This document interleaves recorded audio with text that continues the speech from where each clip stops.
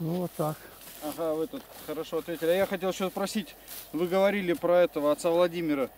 Мы даже ролики вот насмотрели, Головин. Вот. Что он там сейчас не служит, да?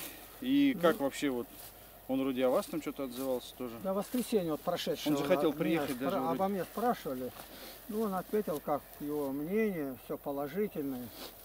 Я бы взял это для многого. Не потому, что он обо мне говорил, а он именно говорил главное. Главное, что человек вот так верит, ему православный, а мне даже врагов заповедано любить. А как же я буду не любить брата-то? Мгм. Причащается православие. Как, один батюшка из ну, Нижнего Новгорода, я даже говорил, его спрашивают, ну а кто он такой Игнатий? Он говорит, скажите, а у него бывает что-то, он говорит о Боге, и люди обращаются, ой, говорит, там, как священник написал, доктор богословия Бачков, говорит, а тысячи людей, которые пришли, не десятки, не сотни, говорит, а тысячи, вы куда денете-то? Он, а ему говорят, да он всех направляет в патриархию, а еще вам еще нужно? Мгм. Человек, который где-то что-то делает, зарабатывает, он домой тащит, а не к соседу через забор бросает. А самое ценное – души. Вы сами ответили на это, и все, заглохли, больше нет. Вот отец Владимир именно так отвечает. Я вижу у него самое положительное, он, кажется, батюшка из народа, он любим народом. Он вышел к народу. Он не стремится замок амбарный повесить на двери, как этот Адриан Старообрядческий говорит. У нас служба отошла, говорит, амбарный замок на двери и до следующей недели. Никого в храме нету. И и мы, я уби- убеждал, что это правильно так. А этот сидит, как отец Геннадий, а служба кончилась, он сел и сидит в храме один. А в это время Юрьевич этот зашел, и он обратился, сын у него Арсений у меня был. Это Андрей, батюшка, Юлия, кажется, жена. Вот такое дело. Так что об отце Владимире, если я буду сейчас говорить вот это так, то ему это могут даже в обвинение поставить. Ты с кем знаешься, с еретиком, с сектантом, там, ну и все остальное. Вот. Поэтому мне лучше промолчать. Я молюсь о нем. Молюсь и других призываю к молитве. Я знаю его расположение. Он не один раз сказал это. Вот Каскун есть Максим, его спрашивают, вопрос тоже. Ну, у меня такие по пять минут ролики. А вот что вы скажете об Игнатии Лапкине? Игнатий Лапкине? А я его внучатка. Он говорит, как? А через него, говорит, Геннадий Фас обратился, а я через Геннадия Фаста. Я, говорит, его внучатка. Ну и все на этом. Отец Олег Стеняев назвал меня необыкновенно продуктивным миссионером, но, говорит, я уже давно не знаю. Он приезжал, по Теряевке был тут, когда ее не было еще, не восстанавливалась.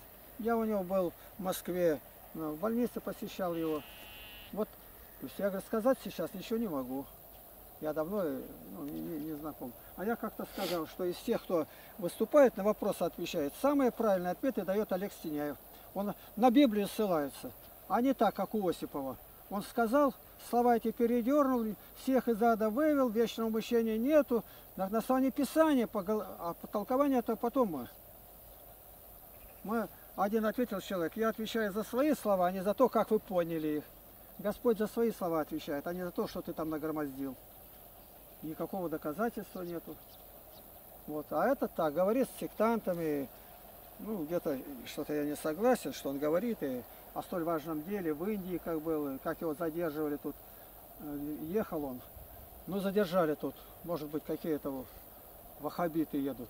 А один посмотрел, да ты ж смотри, какая рожа красная, толстопузый, даже поп настоящий, отпусти его. И он сам говорит и смеется, дескать, я выпивший сидел. Вот. Ну, вот так как есть. Один там сектант пришел, он его накормил ночью курочка у него была, сам не съел. Так тот говорит, меня эта курочка и привела к Богу-то это православие. Ну, у меня такого не было. Я не через курочку, а чтобы человек сознательно понял. Писание будет нас судить. 12.48 Евангелие от Иоанна. А понимать его надо только вот так. А как? Чтобы ни одно место Библии не противоречило. Вот говорят, тысячелетнее царство будет. Сначала Бог вознесет праведников на тысячу лет. А куда вы денете, когда говорится, оставьте Россию вместе до жатвы? Жатва кончина века. До жатвы, а вы за тысячу лет если 365 дней в году умножить на тысячу, 365 тысяч дней, вы ошиблись. Он говорит, я воскрешу его верующего в последний день. Только в одной шестой главе Евангелия от Иоанна четыре раза говорит последний день. Христос Марфе говорит, воскреснет брат твой. Она говорит, знаю, воскреснет в последний день. Мгм. Откуда у нее эти сведения? От общения со Христом. в последний день верующие. А тут за тысячу лет их не продолбить, ничего нельзя. Почему дух заблуждения обуял в мозге, дух лжи. Ну, сектанты так. Да, это они все так понимают. Так, ну Да что? Ладно, бог с ним. Пусть ладно. Ну вот такое дело. Об отце Владимире я могу сказать только положительное и самое хорошее. Да благословит его Господь. Он в моих молитвах. Он Да. собирается теперь, может быть, даже в 2019 году приехать. Ну, пусть приезжает, да, интересно было бы пообщаться. Да. А ему интересно здесь. Он говорит, итак, Игнатий, он выступает как учитель. Это и мой учитель. Мгм. Не просто учитель, а мой, говорит, учитель. Я не претендую ни на что, его слова. Вот вот воскресенье было 23 сентября. Понятно. Он, давай, заворачивай, я тогда поеду. Ладно. С Богом. Все, Спаси спасибо Христос за, за ответы, ладно. Да. Если будут вопросы, еще я буду здесь до 10 октября. Ну да, Ну, Можем еще встретиться. Необыкновенный ну. фон такой. Мгм. А то мы сидим все на кухне. С Богом. Ладно, давайте, кто с Богом. Спаси пока. Христа. Он пошел уже, бычара. Ну.